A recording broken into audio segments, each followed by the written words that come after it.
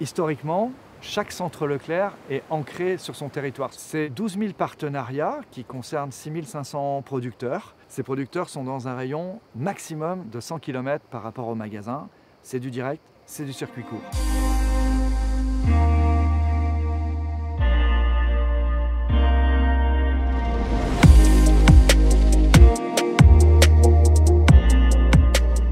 Le secret pour euh, obtenir un bon miel, c'est l'emplacement du rucher qui va être euh, dans un environnement euh, correct pour les abeilles.